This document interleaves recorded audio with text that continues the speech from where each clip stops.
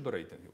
Ну, я ж з вами абсолютно відверто почав говорити про те, що я розумів рік тому, коли ставав другий раз на посаду прем'єр-міністра, чим закінчиться для мене це, як для політика.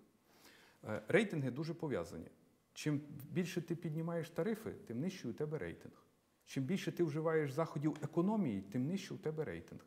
Чим більше ти проводиш непопулярних реформ, тим нижчий у тебе рейтинг. Але якщо я це не буду робити, а це не робив ні один прем'єр протягом 20 років, тому що вони турбувались про свій рейтинг, то хто тоді це зробив в країні? Так. Я пішов на політичне заклання, я все чудово усвідомлюю. Але моє завдання було забути про свій політичний рейтинг і зробити ті фундаментальні зміни в країні, які потребувала країна. І Я з цим завданням рухаюсь вперед, тому що я вірю в те, що це є єдино правильний рецепт. І вся наша команда. Тепер щодо парламентарів.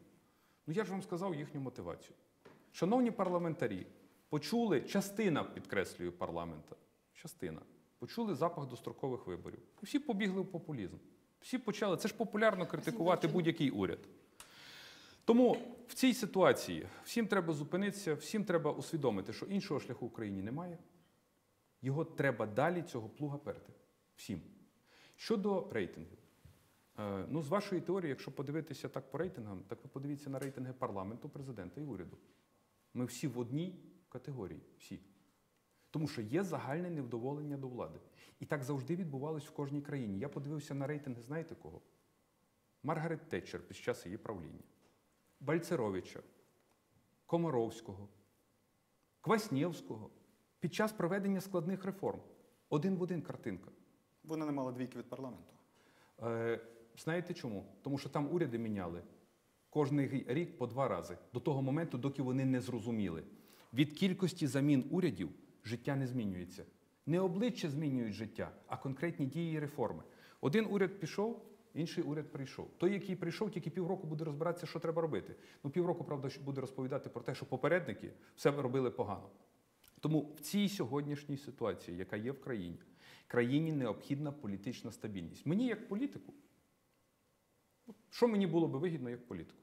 Щоб мене в вівторок зняли. Правда? Ну давайте подумаємо. Для чого? Я виходжу і кажу: дивіться, ми провели реформи. При мені зарплати платили? Платили. Пенсії платили? Платили.